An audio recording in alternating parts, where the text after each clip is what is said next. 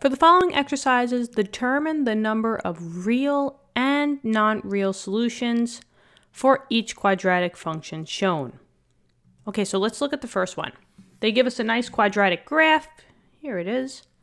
And we just have to find out if there's any real or non-real solutions. Now, in order to find out if there's a real solution, especially if they're saying real or non-real, aka imaginary, and remember, imaginary are I values. The graph means a little bit differently. Generally, we have an x-axis and a y-axis, right? But when we're doing real and non-real solutions, the graph turns a little bit differently. The x-coordinate stands for real values, so we could think of it as like an r. And the y axis stands for imaginary, which is an i. Mainly because remember when they're when you're plotting points, you usually plot, I mean you always plot x comma y. With complex numbers, remember the actual real number comes first and then the imaginary number comes last. That's standard notation. So, you know, an example would be like, I don't know, 2 minus 5i. The 2 is the real, the 5i is the imaginary. x, comma, y. Real is the x, imaginary is the y.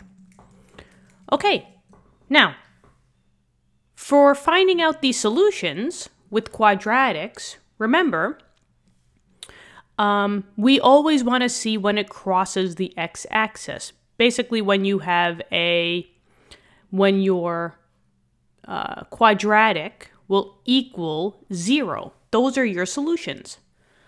So now if I look on this graph, on my real axis, because zero is an actual real value, right? I have two spots, boom, and boom.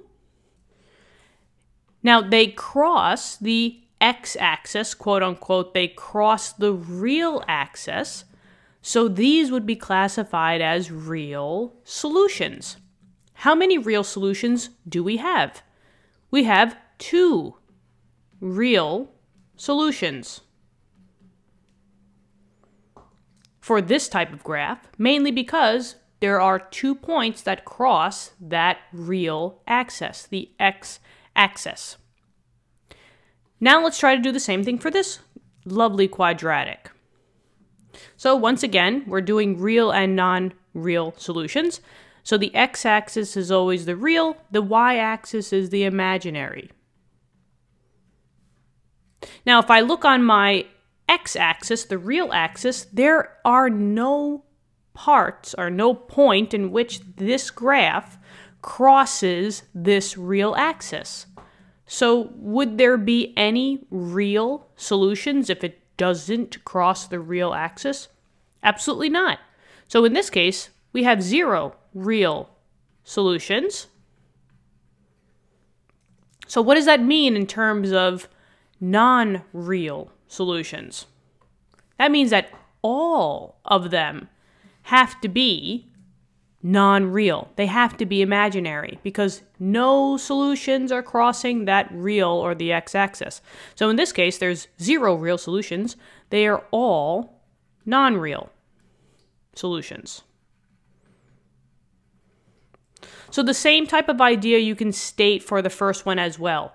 There are two real solutions, the rest have to be all non real solutions. So for the first one, there's two real, the rest are non-real.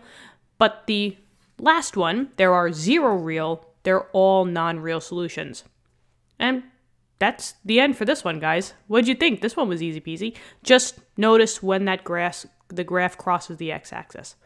All right, so give this video a thumbs up or and like it uh, if you thought it you know helped you out i hope i'm helping you guys out in your math class let me know in the comments i love hearing from you guys um, subscribe to the channel if you'd like to help us out but anyway regardless of whether you subscribe or not i still love you and i'll see you guys all in the next lesson, okay? Have a great day. Bye bye.